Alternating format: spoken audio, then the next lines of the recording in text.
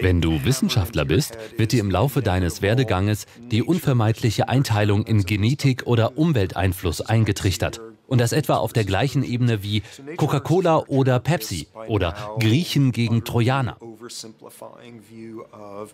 Genetik oder Umwelteinfluss, diese übertrieben vereinfachende Betrachtungsweise der Faktoren, angefangen bei der Frage, wie Zellen mit Energiekrisen umgehen, bis hin zu den Einflüssen, die uns auf höchster Persönlichkeitsebene zu Individuen formen. Auf allen Ebenen herrscht diese völlig falsche Gegensätzlichkeit, in der die Genetik als Basis für jede Kausalität im Leben gesehen wird. Die DNS sei der Code aller Codes, quasi der heilige Gral, und alles würde davon bestimmt. Auf der anderen Seite haben wir die sozialwissenschaftliche Perspektive, die besagt, dass wir soziale Wesen seien und Biologie vor allem etwas für Schleimpilze. Wir Menschen wären frei von Biologie. Nun, offensichtlich sind beide Ansichten Unsinn. Stattdessen sieht man, es ist praktisch unmöglich zu verstehen, wie Biologie getrennt von den Umwelteinflüssen funktioniert.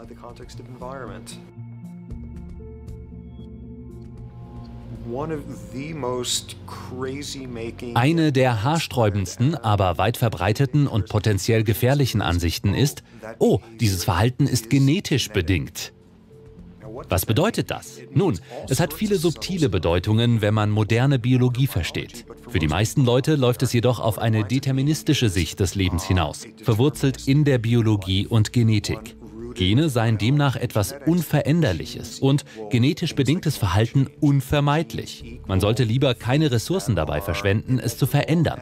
Genauso wenig sollte gesellschaftliche Energie in einen Versuch investiert werden, etwas zu verbessern, denn es ist ja unvermeidlich und unveränderlich. Das ist blanker Unsinn.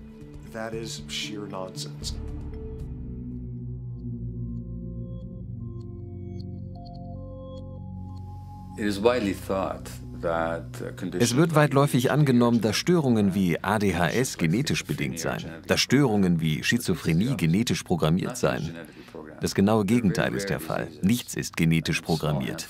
Es gibt sehr seltene Krankheiten, nur eine Handvoll und extrem wenig in der Bevölkerung vertreten, die wirklich genetisch vorbestimmt sind.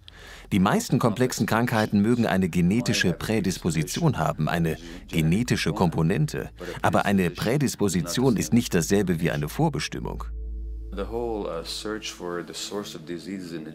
Die ganze Suche nach den Ursachen für Krankheiten im Genom war zum Scheitern verurteilt, bevor überhaupt jemand daran dachte, weil die meisten Krankheiten nicht genetisch vorherbestimmt sind. Herzkrankheiten, Krebs, Schlaganfälle, Rheumaerkrankungen, Autoimmunkrankheiten generell, psychische Krankheiten, Suchtprobleme, nichts davon ist genetisch vorherbestimmt. Zum Beispiel von 100 Frauen mit Brustkrebs haben nur sieben Brustkrebsgene, 93 nicht. Und von 100 Frauen, die diese Gene haben, bekommen nicht alle Krebs.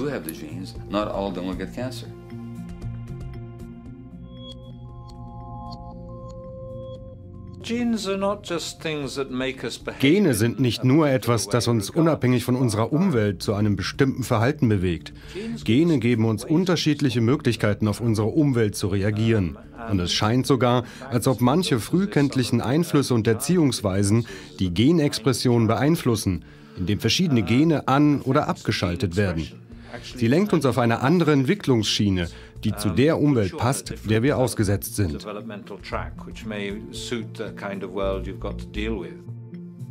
So, for example, Als Beispiel. Bei einer Studie über Selbstmordopfer in Montreal untersuchte man bei Autopsien die Gehirne dieser Leute und es stellte sich heraus, dass wenn ein Selbstmordopfer, normalerweise junge Erwachsene, als Kind missbraucht worden war, der Missbrauch eine genetische Veränderung im Gehirn bewirkt hatte, die in Gehirnen von Menschen fehlte, die nicht missbraucht worden waren. Das nennt man epigenetischen Effekt.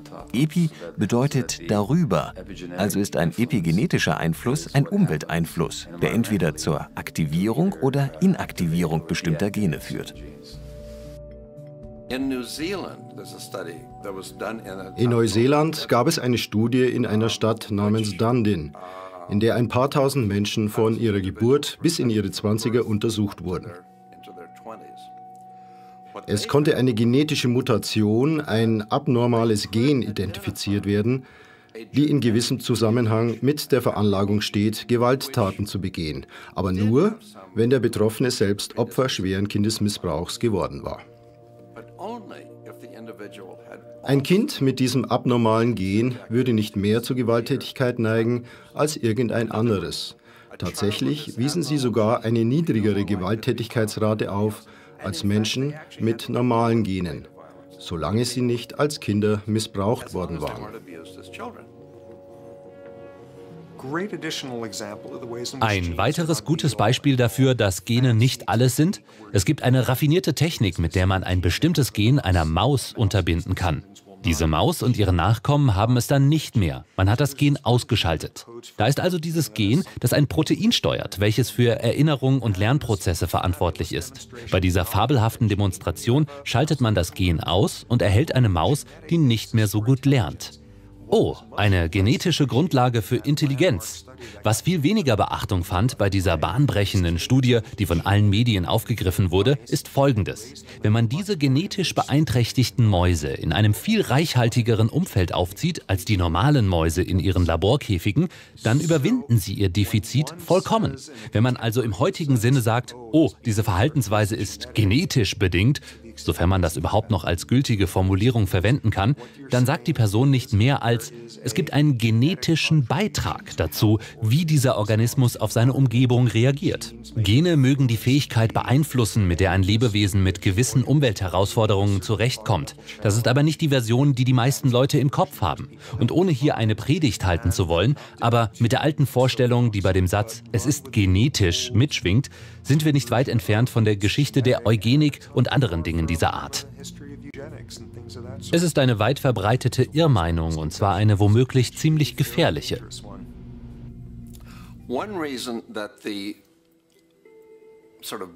Die biologische Erklärung für Gewalt. Diese Hypothese der genetischen Ursache ist möglicherweise ziemlich gefährlich. Nicht einfach nur irreführend, sondern sie kann wirklich Schaden anrichten. Auf dieser Basis könnte man sehr leicht sagen, tja, man kann leider nichts daran ändern, dass einige Menschen eine Neigung zu Gewalttätigkeit haben. Alles, was wir tun können, ist, sie zu bestrafen oder einzusperren oder hinzurichten. Aber um eine Veränderung der gesellschaftlichen Umgebung und gesellschaftlichen Rahmenbedingungen, die zu Gewalt führen, brauchen wir uns nicht zu kümmern. Sie sind irrelevant. Wenn wir verstehen wollen, was Menschen anfällig macht, müssen wir vor allem ihren Lebenshintergrund betrachten. Die alte und doch so verbreitete Idee, dass Süchte auf genetische Ursachen zurückzuführen seien, ist wissenschaftlich einfach unhaltbar. Vielmehr sind es bestimmte Lebenserfahrungen, die Menschen anfällig machen. Lebenserfahrungen, die nicht nur die Persönlichkeit und psychologischen Bedürfnisse einer Person, sondern auch das Gehirn selbst in gewisser Weise prägen. Und dieser Prozess beginnt im Mutterleib. their very brains in certain ways. And that process begins in utero.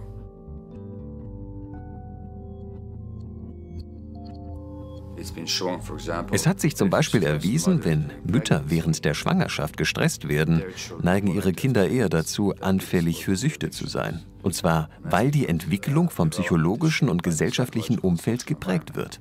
Also wird die Biologie der Menschen entscheidend beeinflusst und gesteuert von Lebenserfahrungen, die im Mutterleib beginnen. Umwelteinflüsse fangen nicht bei der Geburt an. Umwelteinflüsse beginnen, sobald du eine Umwelt hast. Sobald du ein Fötus bist, bist du allen Informationen, die durch Muttis Blutkreislauf fließen, ausgesetzt.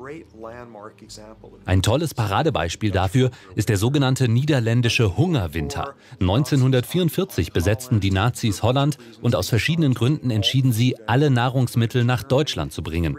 Drei Monate lang haben dort alle gehungert. Zehntausende Menschen verhungerten. Der niederländische Hungerwinter hat folgenden Effekt. Als Fötus im zweiten oder dritten Trimester während der Hungersnot hätte dein Körper etwas sehr Einzigartiges in dieser Zeit gelernt. Während des zweiten und dritten Trimesters versucht der Körper etwas über die Umwelt zu erfahren. Wie bedrohlich ist es dort draußen? Wie reichhaltig? Wie viele Nährstoffe bekomme ich durch den Kreislauf meiner Mutter? Wenn du ein Fötus warst, der während dieser Zeit gehungert hat, ist dein Körper für immer darauf programmiert, sehr, sehr kleinlich mit Zucker und Fett umzugehen und jedes bisschen davon einzulagern. Sei ein niederländischer Hungerwinterfötus und ein halbes Jahrhundert später, wenn alles andere gleich ist, bist du anfälliger dafür, einen hohen Blutdruck, Fettsucht oder das metabolische Syndrom zu haben. Das ist der Umwelteinfluss, der sich hier an einer sehr unerwarteten Stelle zeigt.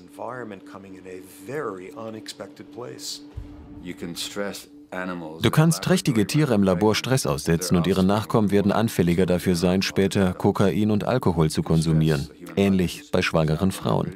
Eine britische Studie zeigt zum Beispiel, dass Frauen, die in der Schwangerschaft missbraucht wurden, bei der Geburt eine höhere Konzentration des Stresshormons Cortisol in ihrer Plazenta hatten und ihre Kinder anschließend ein höheres Risiko für Abhängigkeiten im Alter von sieben, acht Jahren hatten.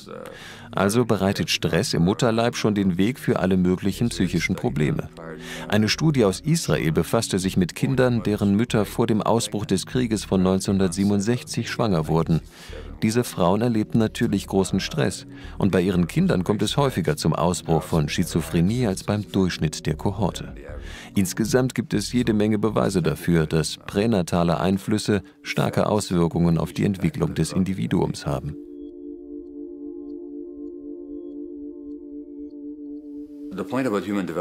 Ein Charakteristikum der menschlichen Entwicklung, besonders der Gehirnentwicklung, ist, dass sie größtenteils unter dem Einfluss der Umwelt und hauptsächlich nach der Geburt stattfindet. Wenn man uns mit einem Pferd vergleicht, das vom ersten Lebenstag an laufen kann, wird offensichtlich, wie unterentwickelt wir sind. Wir können die entsprechende neurologische Koordination von Gleichgewicht, Muskelkraft und Sehschärfe nicht aufbringen, bevor wir eineinhalb oder zwei Jahre alt sind. Das liegt daran, dass die Gehirnentwicklung beim Pferd in der Geborgenheit des Mutterleibes stattfindet. Aber beim Menschen muss das nach der Geburt geschehen.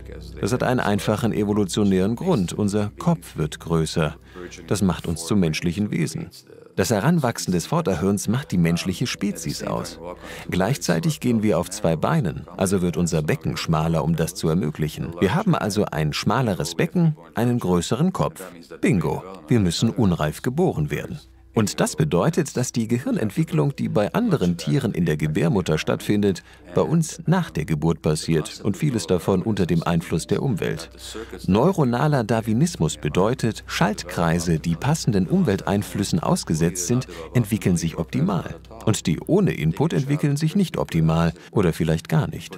Wenn man ein Kind, das bei der Geburt hervorragende Augen hat, fünf Jahre in einen dunklen Raum sperrt, wird es danach für den Rest seines Lebens blind sein, weil die Schaltkreise des Sehens Licht brauchen, um sich zu entwickeln. Ohne Licht werden sogar die rudimentären Schaltkreise, die bei der Geburt aktiv waren, verkümmern und sterben und es werden sich keine neuen mehr entwickeln. Frühe Lebenserfahrungen prägen das spätere Verhalten in erheblichem Maß. Vor allem sind das frühe Erfahrungen, an die man sich später nicht mehr erinnern kann. Es stellt sich heraus, dass es zwei Arten von Gedächtnis gibt ein explizites Gedächtnis, mit dem man Erlebtes wieder abrufen kann. Fakten, Details, Episoden, Umstände. Aber diese Struktur im Gehirn namens Hippocampus, in der das wieder abrufbare Gedächtnis sitzt, fängt erst mit eineinhalb Jahren an sich zu entwickeln und ist erst zu einem sehr viel späteren Zeitpunkt vollkommen ausgebildet. Darum erinnert sich kaum einer an die ersten 18 Monate seines Lebens. Aber es gibt noch eine andere Art von Gedächtnis, das implizite Gedächtnis, das ein emotionales Gedächtnis ist, in dem die Eindrücke und Interpretationen, die das Kind aus emotionalen Erfahrungen gewinnt, fest im Gehirn verankert werden. Dies geschieht in Form von abschussbereiten Nervenschaltungen ohne spezielle Erinnerung. Zum Beispiel Menschen, die adoptiert werden, verspüren oft lebenslang ein Gefühl der Ablehnung. Sie können sich nicht an die Adoption erinnern. Sie können sich auch nicht an die Trennung von ihrer leiblichen Mutter erinnern, weil es nichts gibt, womit sie sich erinnern könnten. Aber die emotionale Erinnerung von Trennung und Ablehnung ist tief in ihre Gehirne eingebrannt. Daher ist es viel wahrscheinlicher, dass sie sich schneller alleine gelassen fühlen und emotional bestürzter als andere Menschen reagieren, wenn sie glauben, Ablehnung zu erfahren. Dies findet man nicht ausschließlich bei adoptierten Menschen, aber bei ihnen zeigt es sich aufgrund dieses impliziten Gedächtnisses besonders stark. Wie werden Menschen süchtig? Gemäß der wissenschaftlichen Literatur und meiner eigenen Erfahrung nach sind praktisch alle schwersüchtigen Menschen als Kinder schwer missbraucht worden oder mussten schwerste emotionale Verluste hinnehmen. Ihr emotionales oder implizites Gedächtnis kommt aus einer Welt ohne Sicherheit und ohne Hilfe. Bezugspersonen waren nicht vertrauenswürdig und Beziehungen nicht sicher genug, um sich zu öffnen und Verwundbarkeit zu zeigen. Darum ist ihre Reaktion die Vermeidung von wirklich intimen Beziehungen. Sie vertrauen Bezugspersonen nicht, auch nicht Ärzten und anderen Menschen, die ihnen helfen wollen, da sie die Welt generell als unsicheren Ort betrachten. Und das ist eine Folge des impliziten Gedächtnisses, das manchmal mit Erlebnissen zu tun hat, an die sie sich nicht einmal erinnern können.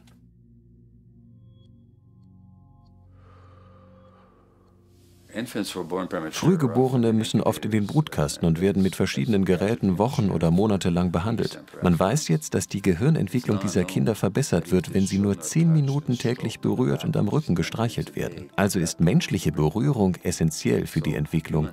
Und tatsächlich sterben Kleinkinder, die nie auf den Arm genommen werden. Das zeigt, wie fundamental dieses Bedürfnis gehalten zu werden für uns Menschen ist. In unserer Gesellschaft gibt es eine bedauerliche Tendenz, Eltern zu raten, ihre Kinder nicht hochzunehmen weinende Babys nicht zu sich in den Arm zu nehmen, aus Angst, sie damit zu sehr zu verwöhnen oder als Ansporn für das Kind, die Nacht durchzuschlafen.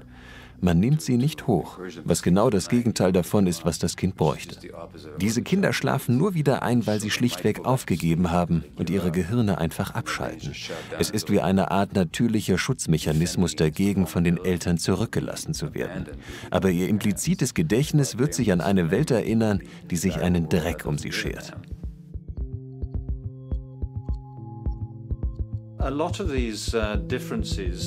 Viele dieser Unterschiede bilden sich bereits früh im Leben.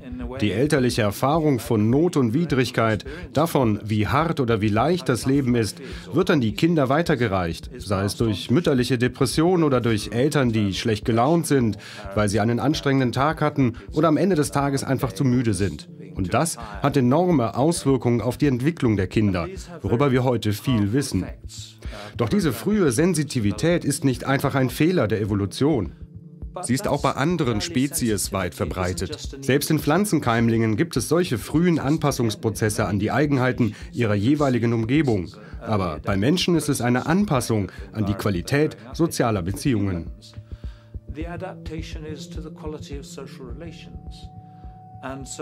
Also die frühe Kindheit. Wie viel Pflege, wie viel Streit, wie viel Zuwendung du erfährst, gibt dir einen Vorgeschmack auf die Welt, in der du womöglich aufwachsen wirst. Wächst du in einer Welt auf, in der du um alles kämpfen und wachsam sein musst, dich alleine durchschlägst und lernst, niemandem zu trauen? Oder wächst du in einer Gesellschaft auf, in der man sich auf Gegenseitigkeit, ein Miteinander und Kooperation verlassen kann und in der Mitgefühl eine zentrale Rolle spielt, in der deine Sicherheit durch gute Beziehungen zu deinen Mitmenschen entsteht? Diese Ausgangsbedingungen bedürfen einer völlig unterschiedlichen emotionalen und kognitiven Entwicklung. Und genau darum geht es bei dieser frühen Sensibilität. Erziehung scheint unbewusst ein System zu sein, das diese Erfahrungen an Kinder weitergibt über die Welt, in der sie leben. Der große britische Kinderpsychiater Winnicott sagte, dass grundsätzlich zwei Dinge in der Kindheit schiefgehen können. Erstens, dass Dinge passieren, die nicht passieren sollten. Zweitens, dass Dinge passieren sollten, es aber nicht tun. In die erste Kategorie fallen die traumatischen Erfahrungen des Missbrauchs und der Ablehnung meiner Patienten und vieler Süchtigen. Das sind Dinge, die nicht geschehen sollten, aber es taten. Auf der anderen Seite gibt es stressfreie, aufmerksame, ungeteilte Zuwendung der Eltern, die jedes Kind braucht. Kinder bekommen diese sehr oft nicht. Sie werden nicht missbraucht und nicht vernachlässigt und sind nicht traumatisiert. Aber was passieren sollte, nämlich dass emotional anwesende, liebevolle Eltern da sind, fehlt ihnen wegen des Stresses in unserer Gesellschaft und in der Erziehungssituation. Der Psychologe Alan Score nennt das proximales Verlassensein wenn die Eltern zwar physisch anwesend, aber emotional abwesend sind. Uh,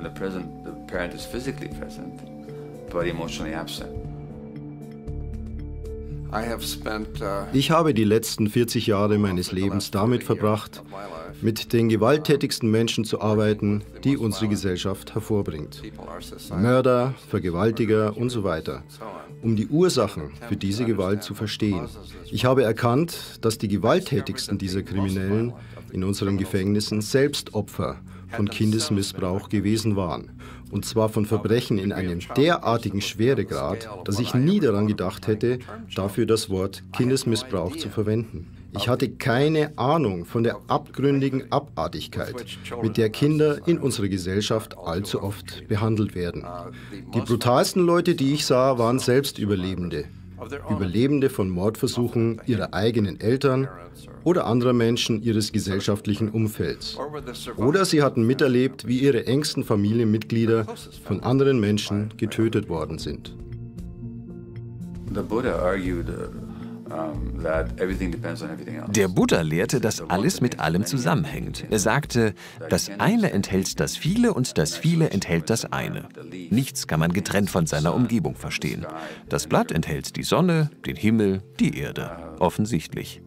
Die Richtigkeit dieser These hat sich überall gezeigt, speziell auch in Bezug auf den Bereich menschliche Entwicklung.